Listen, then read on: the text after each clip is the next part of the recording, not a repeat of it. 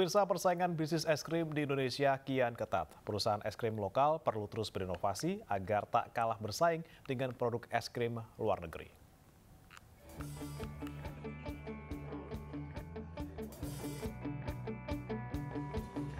Merayakan usia emas yang ke-50 tahun, Campina konsisten memberikan yang terbaik untuk konsumen tercinta. Campina juga melaunching sejumlah produk terbaru, di antaranya Concerto Midi Tiramisu.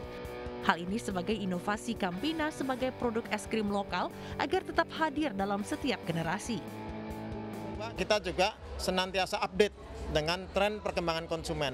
Contohnya untuk anak-anak kita juga bekerja sama dengan licensing seperti Nickelodeon, seperti Disney, agar anak-anak tetap mau menjangkau produk kita. Dan yang ketiga kita memperbaharui layanan kita sekarang juga menggunakan online, menggunakan digital supaya konsumen lebih mudah menjangkau produk kita dari gadgetnya. Campina juga memperkenalkan penyanyi Tiara Andini sebagai ambasador baru Campina.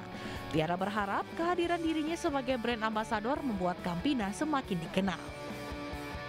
Ice cream Campina ini memang ice cream yang dari dulu sampai sekarang uh, sampai beda generasi dia akan terus tetap seperti ini dan harapannya dari aku ya semoga uh, Campina bisa memberikan re, uh, apa ya kayak kreasi dari rasa-rasa es krim yang lebih kreatif lagi, yang lebih lucu-lucu lagi pasti.